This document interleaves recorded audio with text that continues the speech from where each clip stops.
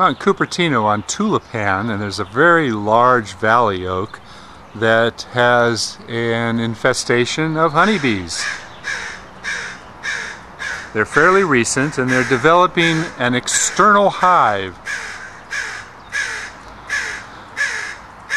Now external hives are not very common and ideally the bees want to locate uh, an internal hive so that they are protected from the weather but during a swarm, if the, if the bees cannot locate a cavity in a tree, they will uh, congregate and build an external hive of combs that are developing.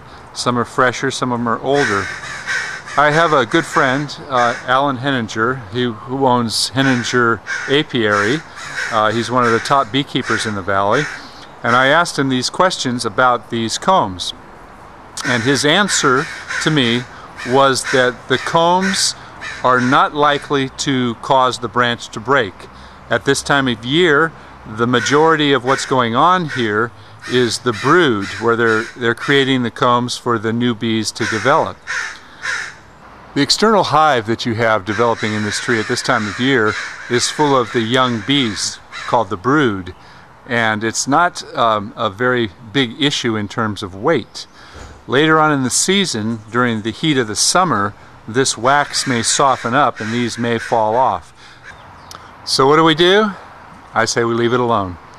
With all the problems that we're having with the loss of the honeybees, the colony collapse syndrome, we need as many honeybees as possible. The worst thing that we could do would be to try to remove this. Alan has informed me that during a removal of a, a hive like this, it's very, very possible that the bees would become very agitated and the swarm would remain in this area causing more of a problem to the residents.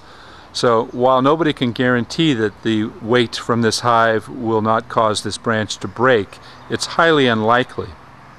And what oftentimes hap happens with these external hives is they just use them for a period of time until they can develop uh, the young bees and then they move on to a more appropriate um, protected location.